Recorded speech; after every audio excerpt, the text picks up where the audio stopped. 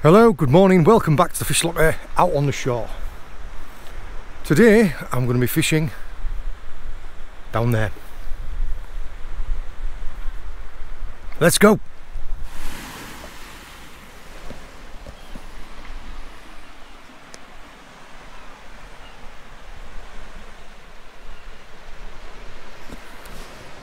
No problem. Well, I'm not going to say that was an easy one. But we're down. Tom the billy goat is already down there. I'll make my way down now. Made it. Got a little bit of a sweat on now, like. No dilly dallying. Tom's already set up. Got a rod set up down there. I'll talk to you about the rigs and the baits just before I cast them out.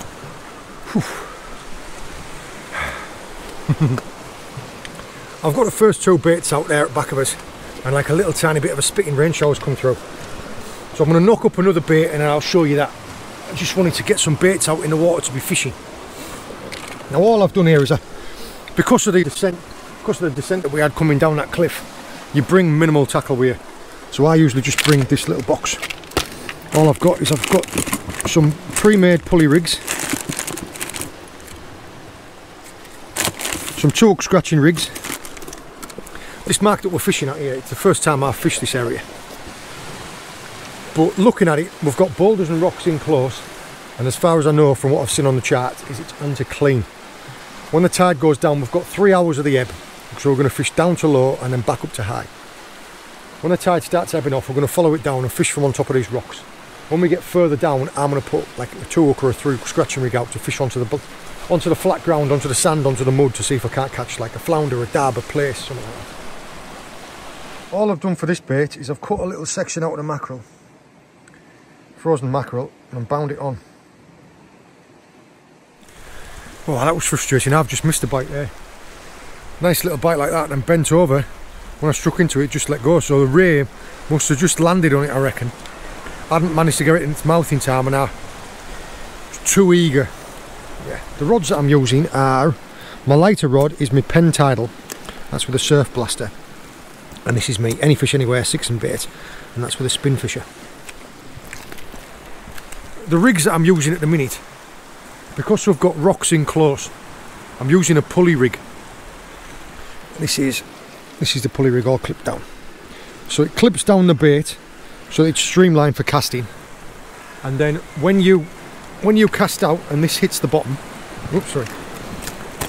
When you cast out and this bait or weight hits the seabed, it detaches, and then when you hook up to a fish, it pulls and holds the lead up out of the way. So this rig, hopefully, when you hook up into a fish, is it pulls the lead up out of the way so the lead doesn't get caught in any of these rocks. There's a video on the Fish Locker Workshop channel showing you how to make these pulley rigs. That's the rig of choice. Now, I did miss that fish. All I did was I struck into it, started winding and then dropped it. So I just dropped the bait straight back down again. I'll give it another couple of minutes to see if it comes back and finds it. If after maybe five minutes, if it hasn't come back, I'll bring it in, check the bait and cast out fresh bait. Reason being is because that fish, because the bait, the bait's only maybe moved six, ten foot, that fish could still be sniffling around in the area and if there's any bait left it'll have it it's always worth potentially giving it another couple of seconds. I mean at the moment there's not much tide moving left to right. So although I have tripped the lead out it's not moving anywhere. Yeah you can see where the tide's ebbing off now. Give it another maybe half an hour and I'll move down off this rock onto some of them ones down there. Right, nice fat codling or some rays today would be nice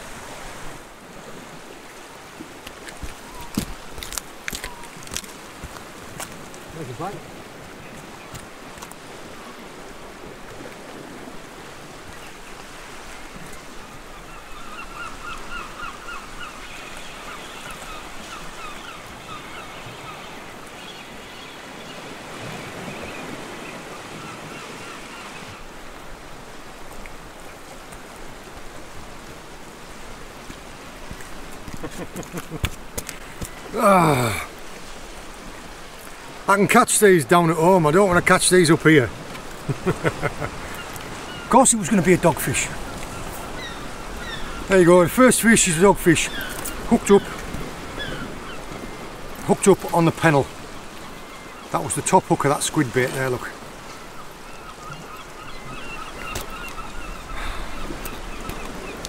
I just cannot get away from these guys. nice bite though.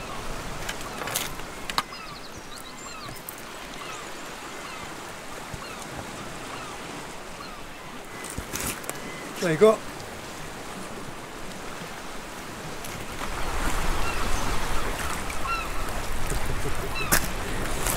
I just cast out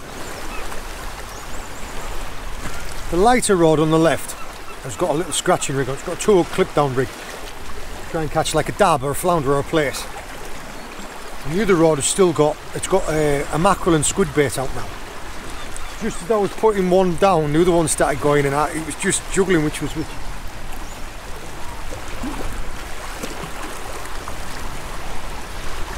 Yeah, I'll give it a chance to develop because if it's a ray, it'll just be sitting on it. Got about another three quarters of an hour to low tide. And to be absolutely honest, I was expecting, I was hoping for a fish before this. I was hoping that we'd have had a couple of fish on the way down to low.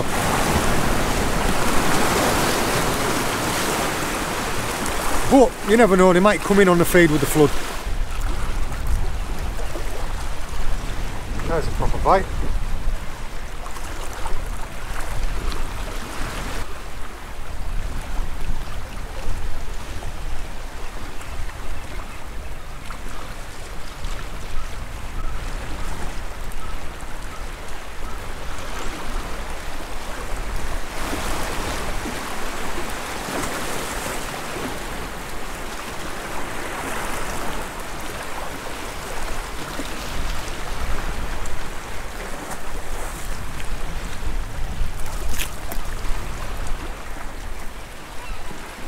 Again.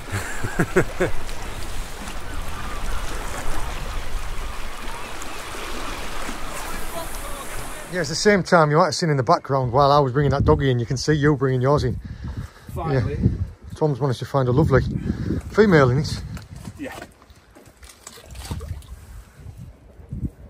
Lovely looking ring. It's not hard to see what they're called, thornbacks, is it? Just saw that classic. Has it got any on the inside? Yeah, Sometimes you get. plenty. Oh no. There's no easy way to pick them up, is there? But I tell you what, them eyes are just incredible when it opens them. He's in the sun. Just a pulley rig, Pulley rig, yeah.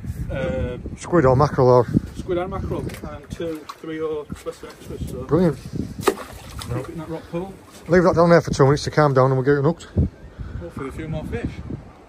Well, it's nearly low water now, isn't it? Yeah.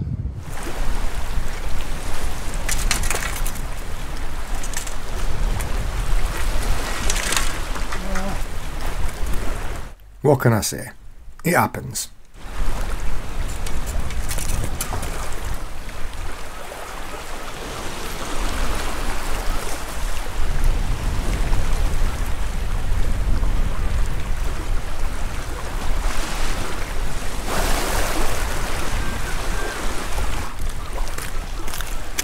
There we are.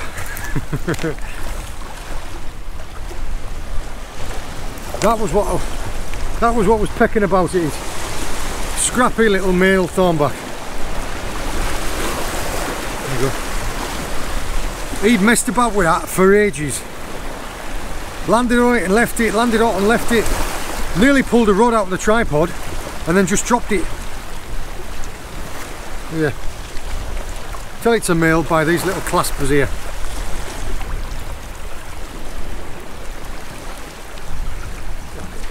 Hook's just inside of his mouth. Got it finally.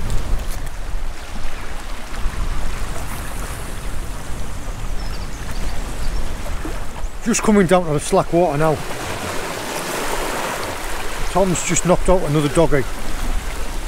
All I'm doing is I've got I've got two fresh baits out there. I've put put two big fish baits out there. Just because if this is the time the thornbacks are going to come through, I want to try and capitalise on it. I like fishing a flood tide. I feel in my mind fish feed better with an incoming tide. Now every mark's different, some, bit, some fish better on the ebb, some fish better on the flood. All I'm doing is I've, I've got one of the mackerel and I've taken the fillets off the side and just cut them into smaller strips. Now I'm just binding one up on this baiting tool with a bit of bait elastic. So that when I, when I bring that next one in, I've got another one pre-baited to cast straight out.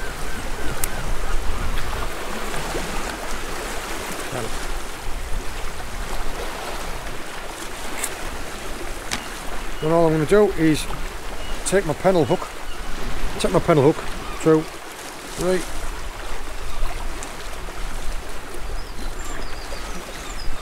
there you go. Both hook points are proud, a nicely bound bait, plenty of scent coming out. There you go. I'll make this up now and I'll hang it from the tripod so that as soon as I bring the next one in, I can cast this straight back out. Now there hasn't been that much tide on the ebb. I've been able to get away with a lighter lead, but Tom says it does flood through a little bit harder. So I might have to step the ledge up when the tide, when the tide starts flooding. A little bit disappointed I didn't have anything on the on the scratching rig. Because the first couple of baits that I put out, did look like they were getting pecked. And yet the scratching rig was out there for three quarters of an hour and come back and the baits are immaculate. I'll stick it back out again in a bit. If we don't um, if we don't start seeing some some more better fish, I will. I'll put the scratching rig back out.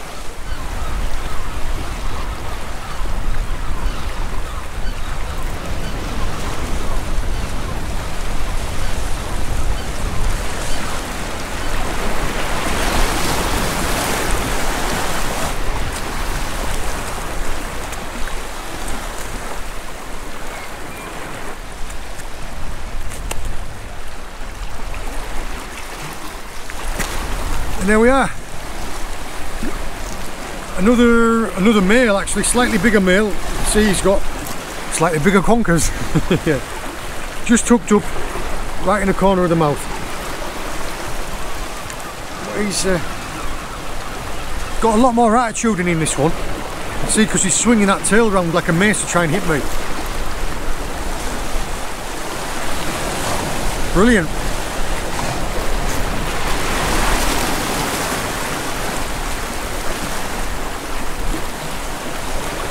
Let go. There you go. There's the hook out.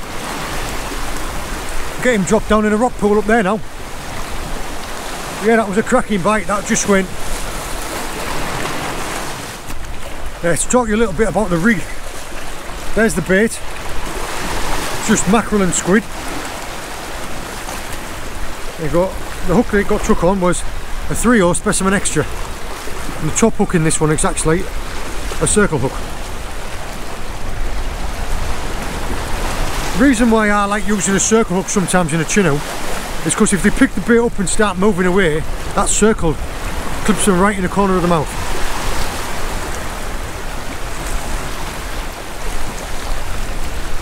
Yeah, the beauty of this rig being that the weight of the fish fighting against you and the weight of the fish going through the water holds the lead up out of the way. So when it casts out, it's like that. When it casts out, it's like this. And then, when the fish hooks up, it's like that. Which helped me bring it in across all these rocks. I wouldn't normally have this camera position, I'm in a bit of an awkward position, but I'm on top of a rock and there's not an awful lot of space. I would normally like to set the camera away from the rods and that, but get another bait knocked up quick because this might be the fish coming in now. looks like Tom's into a fish down here. Eh? I don't know if you can see him down, down there. Yeah, but that was a mackerel and squid bait. Different types of bites with different types of fish. Like a cod will just be like a nod. Whereas a ray sometimes, what a ray can do is it can come in and land on your bait. So you'll get like a little, and then just a, bend down, or a slack liner. That one that I had there was a was a proper positive bite. Come in and it found it, and then it moved off with it. So the rod tip went. There's the hooks. A couple of little tips. I don't like having really clatty hands, so I always bring one of these. All it is is it's one of the old towels from in the house. You know, when they get a bit threadbare or they get a bit dirty. And I've got, we've got two women in the house. So between my wife and my daughter dyeing their hair and messing about, all of the towels, if it's a pale towel like this white towel, it all ends up with like hair dye on it. So all I do is I take them into the garage and I cut them up into pieces that are like, I don't know, 12 or 14 inch by 12 or 14, like a foot by a foot. And one of these little baiting tools.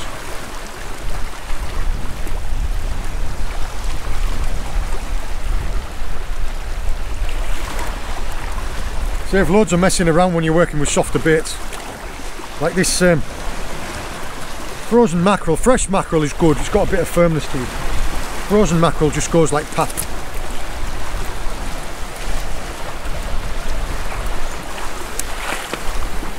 There you go. All bound up nice and tight. That is a 3-0 Specimen Xtra and that is a 4-0 Mutsu circle. slide it off the towel and there's your mackerel and squid bait both hook points proud ready to be cast out the next time I bring one in which hopefully might not be too long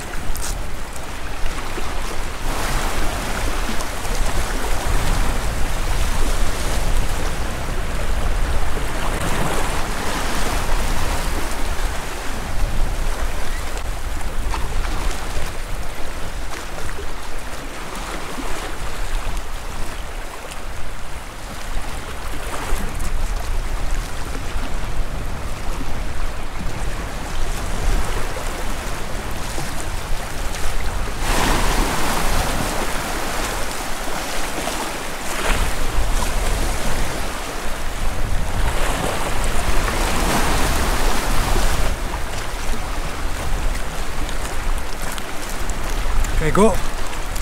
That's them fish coming on the feed now. What was I saying about?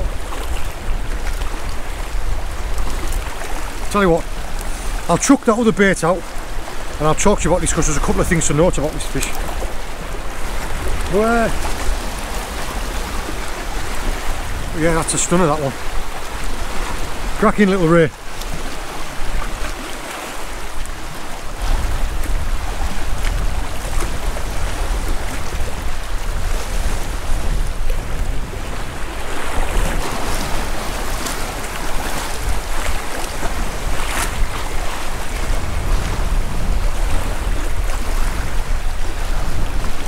That, the bite that I got off that one there, was a proper slackliner bite. Trying to get myself so I'm not stood in the way of it. So you can see the rods behind me. Oh. Got any better? Yeah, maybe. That was a proper slackliner bite. So as in we got like a dump and it strung up and the line fell slack. So when I looked up, the line was just laid all over the place. So that's why I had to wind down real quick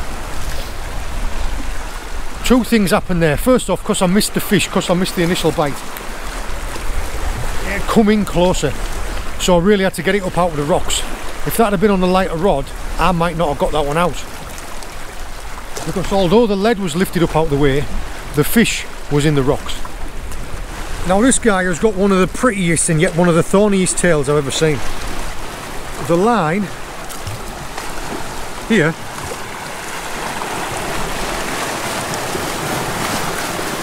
and there has been chaffed up a little bit on the rocks on the way in. But just like when I was saying about fish picking up the bait and running off and the circle taking them, it's the circle hook that's had this one. That's perfect. Look how thorny his tail is, it's incredible.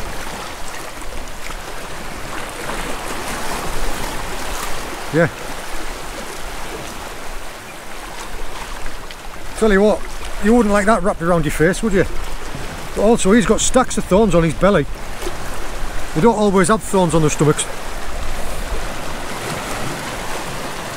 Little female. There's the bottom hook. And the circle hook in the pennel has picked it up right in the corner of the mouth. Perfect. Be mindful of them though, because they are thorny everywhere.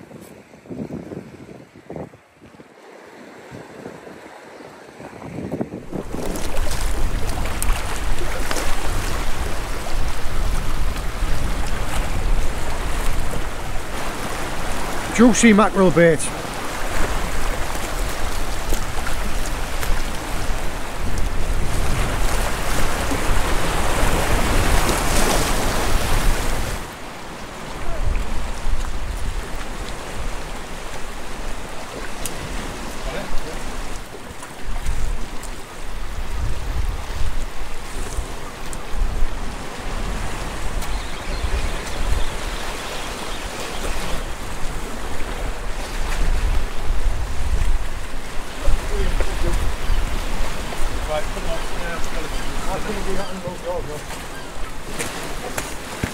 Just as we decided that we are going to move me off that rock there, because you can see the tide coming in, this rod decided to go.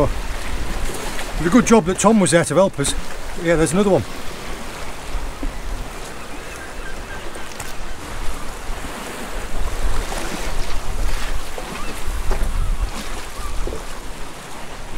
Here's some of the thornbacks, the dogfish that I've had.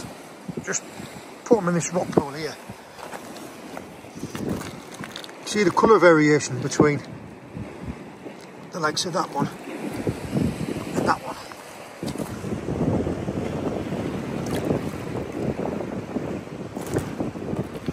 Both come off the same ground, both the same size, and yet almost completely different, aren't they? And a little dogfish. That tide will be up in here within a couple of minutes.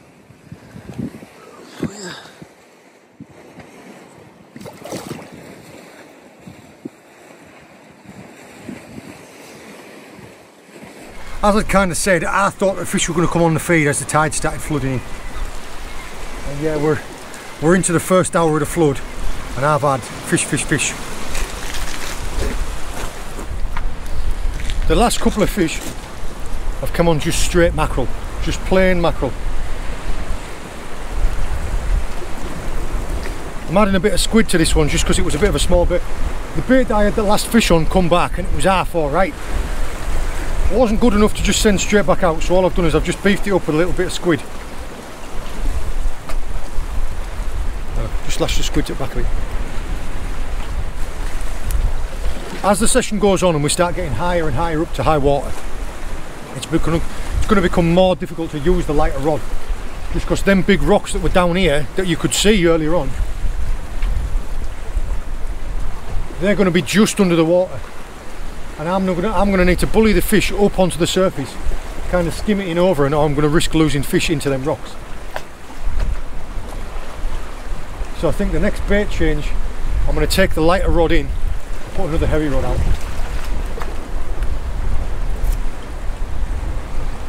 There you go. I haven't seen any codlings yet.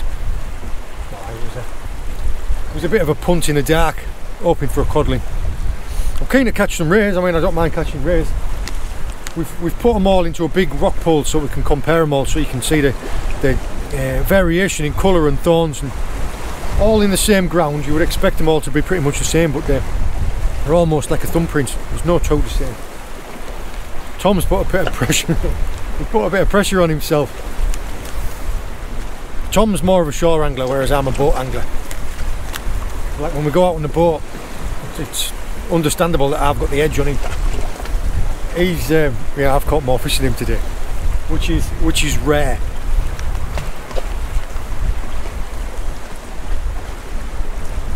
I fish with Tom all over the world. I've done quite a few um, big skate videos and also videos in Madeira and Foot Fuerteventura with Tom. The tide's moving back all the time. Tom had just come and sat with me and he was saying, well, what do you want to do here? Because we've got, got like, all the way up there to climb. And to be honest, it's not fishing very well. We're just thinking, wow, should we, should we push on and go to another mark? Just saw up corner of his eye, Tom's rod's just gone. I'll tell you what, it was like a gazelle. I think after spending all day trying to catch thornback ray, Put a scratching rig out now to try and catch a dab. I've got a thornback ray. Put a scratching rig out to try and catch a dab or a place or a flounder.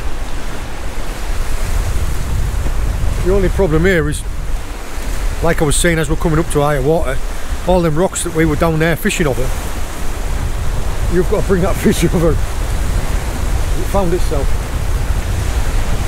You want to do? Try and change the angle? It's just going to let try and swim out. I want it swim out. It's, it's like 50-50. Sometimes, make it a lot worse or a lot better. Sometimes you can do that if you if you hit into a rock or a ledge, if you give it a little bit of slack, the fish can turn around and swim back It worked. like that there.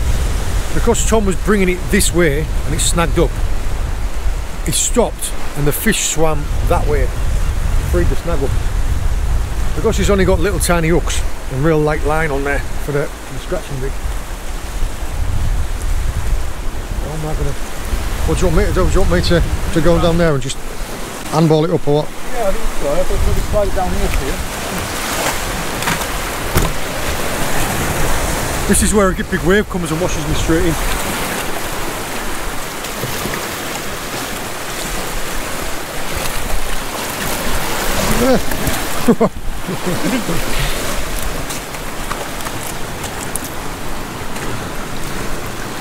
Wow. Thank you. There you go. Yep. One sec. Right, lead's all yours. Yeah. Fingers crossed. That means that they're starting to come back on the feed again. Because we've had like a, an hour, maybe an hour and a half, just dead. what was that there? Was that blacks and a little bit of mackerel? A little bit of mackerel and a bit of black, yeah. Tell you what, them little, them teeth on there, yeah, they don't look like much, but the, when they get out of you, they'll, they don't have to pick you up. Same there, look at these. Well done. I might go down and freshen my baits up now. Um, Tweezers. recording while I'm holding?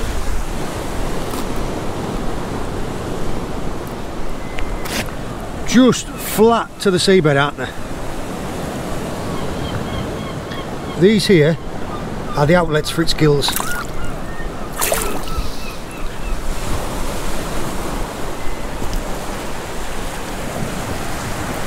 You can see by their body shape rays, they're completely flat and their mouths on the underside, so they're feeding on everything on the seabed.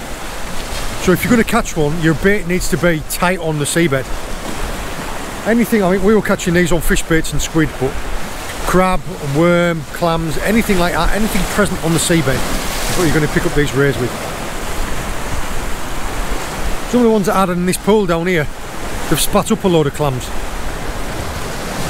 Let's get them baits freshened up.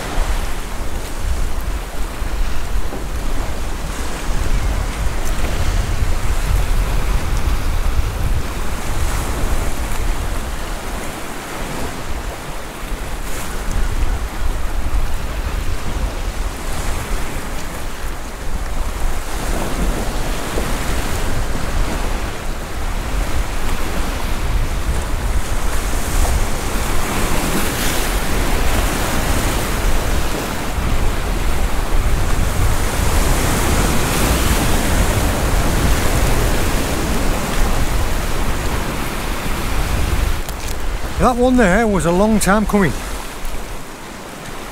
and completely different than all the other ones that we've had so far. This one's really pale. Turn you around. Now, this one's really pale and hardly any thorns. There's the bit. Change this camera angle because it's washing me out. Perfect. Again, this perfectly illustrates how that circle look has picked it up. Now look. It isn't even just through the membrane inside of its lip. Beautiful, aren't they?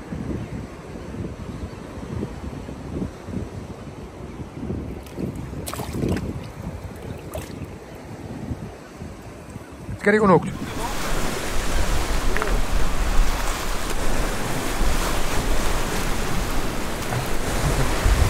I think Tom's managed it. I was saying earlier on that Tom usually thrashes me every time we go shore fishing.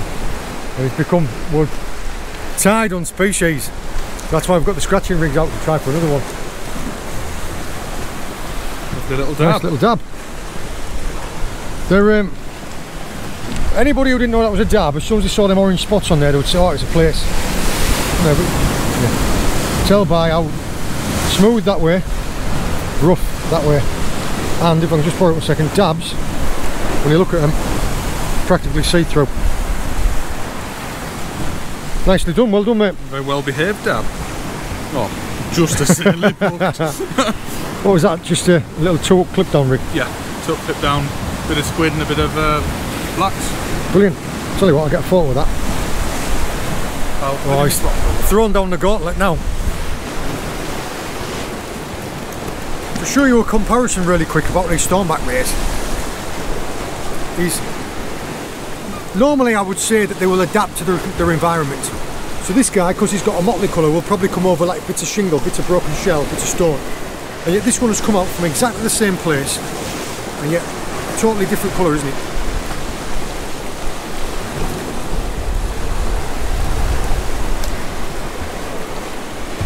These are perfectly happy there in that rock hole until the tide comes in.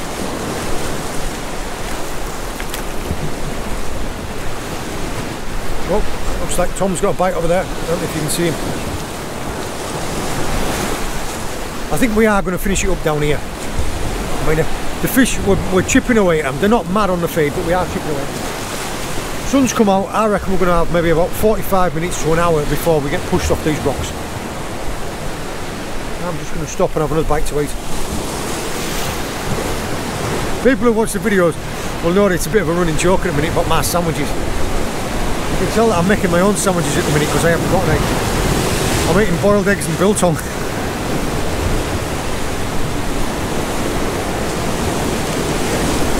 now that the sun's come out, it's lovely down here. It is absolutely lovely. Go away, did he? do seem to be quite finicky. Tom said times that he's come down here before you can't keep a bait in the water for the thornback. We've, uh, we've chipped away at them. At the moment it is all still to play for. Now Tom is winning winning on species with that dab. But I'm winning on number of fish. I think we've had nine thornbacks and I've had I think I've had seven of them. Dogfish, we've had, well, we've probably had about eight or nine dogfish.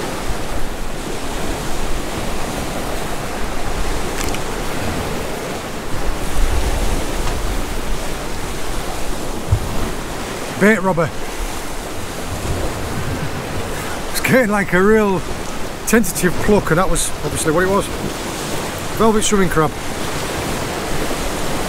You can let go now.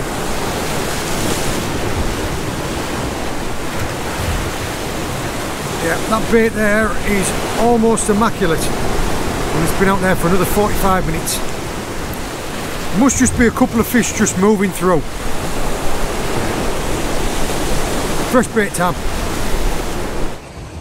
You sneaking one out on me up here, are you? You sneaking one out.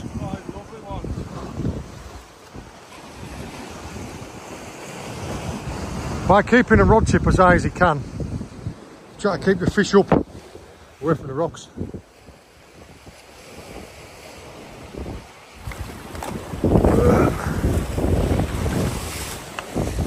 There you go. Another bonny fish, mate, well done.